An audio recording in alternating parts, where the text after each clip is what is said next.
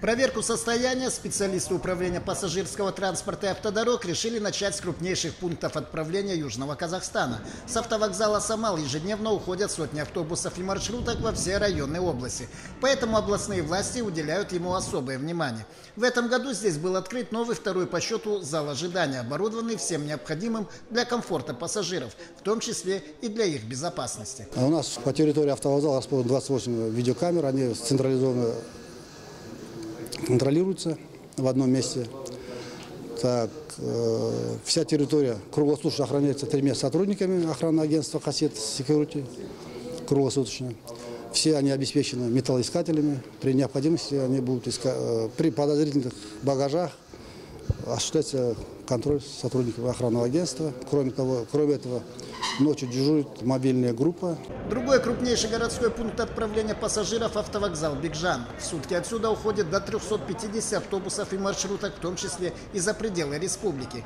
Его оснащенность также высоко оценили специалисты пассажироперевозки. Здесь предусмотрено все для комфорта и безопасности пассажиров. Не забыли даже о людях с ограниченными возможностями. Мы уделили особое внимание обслуживанию инвалидов. Для них у нас есть оборудованная инфраструктура. Есть кассы, где обслуживаются люди этой категории вне очереди и специальные места в туалетах. Автобусы и маршрутки, отъезжающие из нашего вокзала, украшены специальными логотипами с названием компании и пунктом отправления. Это также делается для удобства пассажиров. Впрочем, пока похвастаться современными условиями могут единичные автовокзалы Южного Казахстана. Много работы для специалистов остается в районах области. Руководство некоторых пунктов отправления пассажиров к модернизации даже не приступало. Арс автобекеті бар. Самыми необорудованными у нас остаются вокзалы в городе Арысе, где руководство даже не представило нам эскизы обновленного здания, и в Махтарале. Там есть посадочный пункт Дильдобекова. Он также не соответствует никаким стандартам. Для устранения недостатков мы выпишем им предписание с требованием привести вокзалы в соответствие с национальным стандартом.